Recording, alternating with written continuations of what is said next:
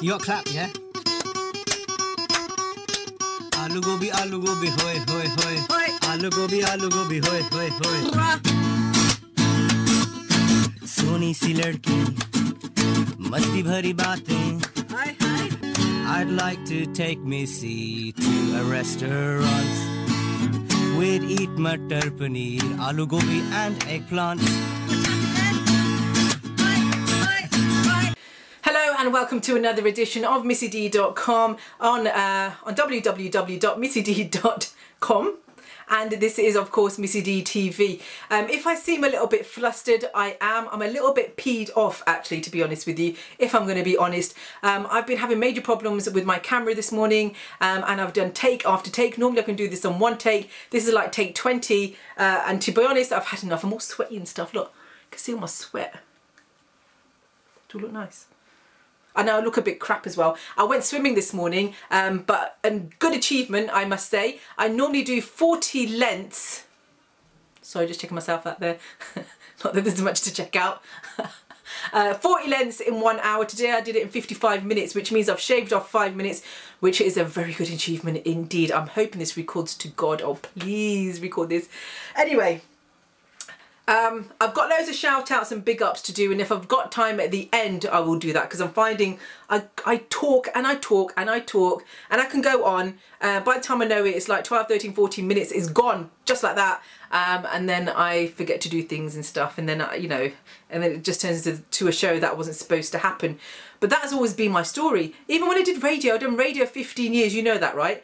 I think I've told you like a million times now. But every time I did a show I plan to do a show in this direction and it'd always go that direction. Um, so uh, that's just me. Uh, I'm a bit ditzy like that, I suppose.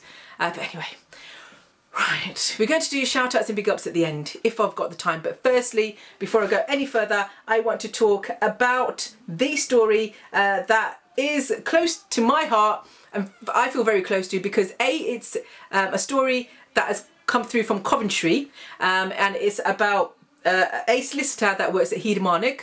Uh, I know uh, the firm quite well, as in if any if I need anything to do to get sorted out for the law, I would always go to Heer Manak. Um, in fact, Heer Manak escorted me to court once. I'm not a criminal. I'm not. It was speeding and uh, I got a seven day ban many years ago. Yeah. Um, so I wasn't happy, but yeah, I paid Heer Manak a lot of money to do that when you know someone else could have taken me to court but apparently they've got to take me because they're my solicitor. Anyway that's a long long long story. To cut it short um yeah i've got a seven day ban.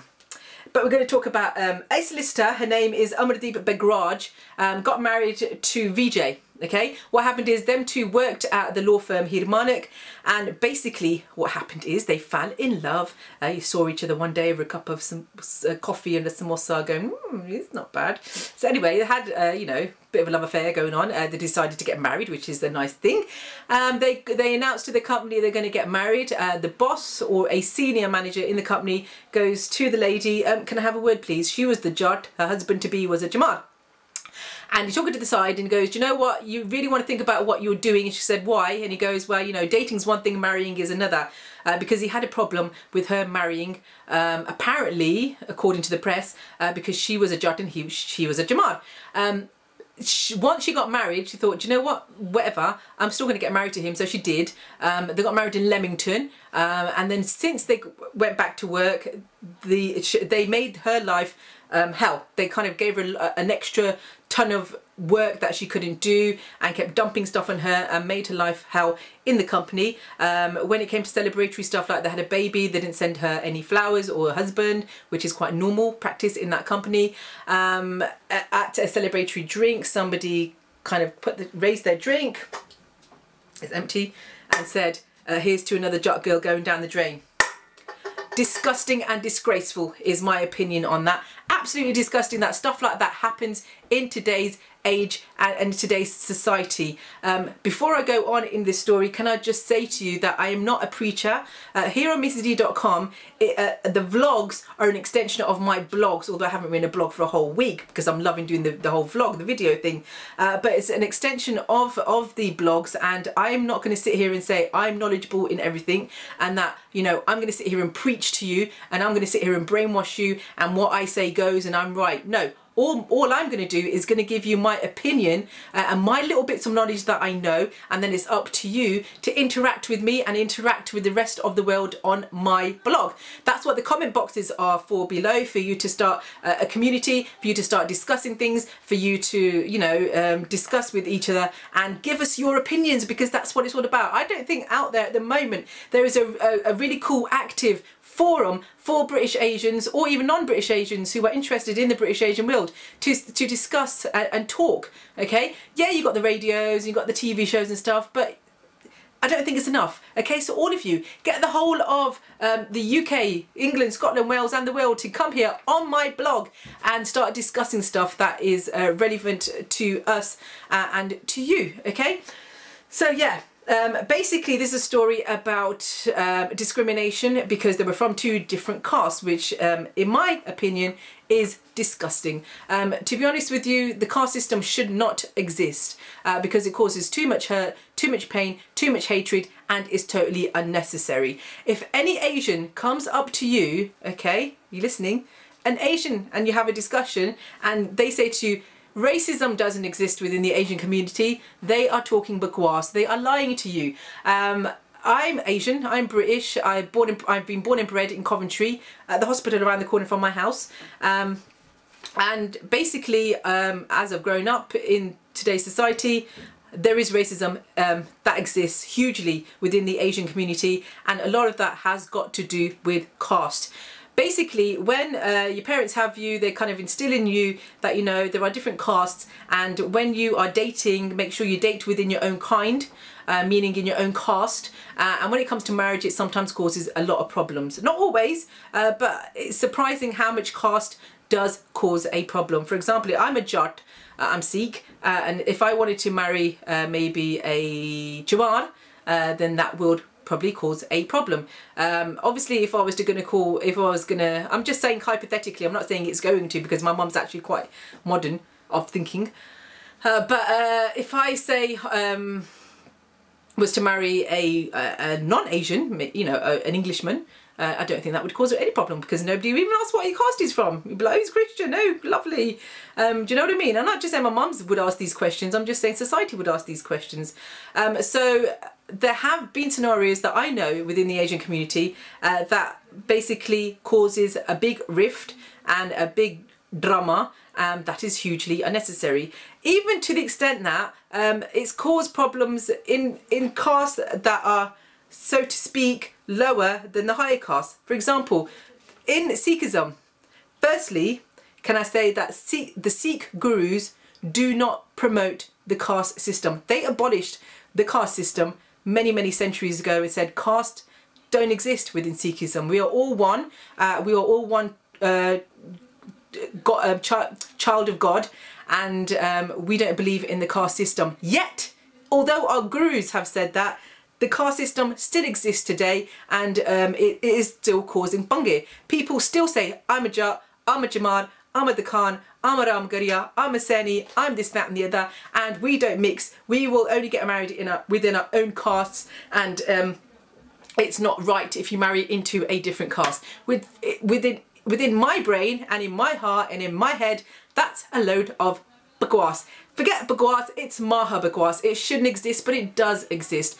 Um, to give you a very quick history lesson on, on castes, um, what from what I know and the little bit of knowledge that I have on this and from talking to aunties um, and doing some research on the net, the caste system derives from Hindu society from many thousands of years ago. Basically, in Hindu society back way back then in the day, it was basically like this. It was like a you got, you got say India, okay, um, and um, you got loads of Hindus living there, okay, thousands, centuries ago, okay, thousands of years and centuries ago um, basically what they did, they kind of cut society into different portions. Okay, so imagine it like they kind of went, okay, so this little section here, you're really good at um, banking, so you go and be bankers.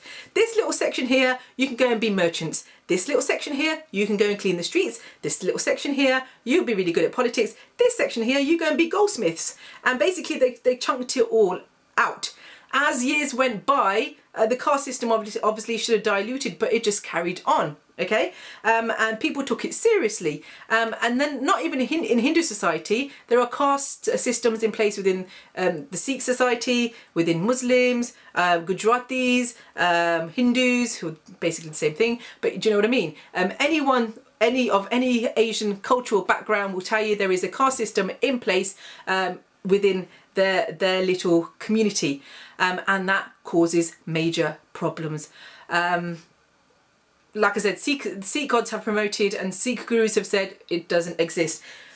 Gandhi, Mahatma Gandhi, uh, he stood against the caste system. Um, now, in the Hindu uh, caste system, believe it or not, I went on the internet and I saw a pyramid. Not even one, but loads of diagrams of pyramids going, these are the top caste, these are the bottom caste. I mean, who are these people to say that people are better than them or people are worse off than them? Everyone is one. It is so bakwas. But anyway, yeah, so I saw this pyramid, and at the top of this pyramid, they've got Brahmins, who are supposed to be priests. Then they've got Kshatriyas, who are warriors and rulers. Then they've got uh, Vaisyas, who are skilled traders and merchants, blah, blah, blah. Then you've got the Sudras, who are the unskilled workers. And then you've got the Pariahs who, and the Harijans, who are the outcasts and the untouchables. Mahatma Gandhi stood against uh, the caste system and he called the untouchables the children of God. That is what Sikhism promoted as well. Basically saying everyone is a child of God. Um, I'm not having an attack at the Hindu society, but what I'm saying is that every society, every religious background and culture that there is, you need to kind of get a life, you need to sort your lives out, and you need to stop with the caste system because it is something that um, was alive and created centuries ago. But there's no need for to to even um, how can it put someone down because of what caste they come from? Everyone at the end of the day, in my world, is equal. Whether you are Sikh, Muslim, Hindu, um, whatever, Bengali, it doesn't matter to me. You are a human being. And then you have these subsectors of caste and stuff like that. What's that all about? It needs to stop and it needs to stop now. I understand that a lot of this has been instilled from our uh, dadde pardadde, meaning our grand great grandfathers, our grandfathers and fathers, etc. etc. Okay, um, but I feel that us educated, I'm not saying they we're educated, but I'm just saying us generations here, we don't even come from India. We're born and bred in this country. The caste system doesn't exist, yet you choose to follow it, some of you, I'm not saying all of you, because your parents have instilled that into your heads. You need to take that out of your head and you need to start instilling in different generations, um, in sorry, in the next generations to come, that the caste system does not exist. Today is gonna be the day that we're gonna throw it back to you. By now, you should have somehow realized what you're gonna do. I don't believe that anybody misses the breakfast show with Missy D. Woo! Missy D, the word is on the street that you're very, very loud and proud. Go girl, you keep it that way cause you're loved by all around.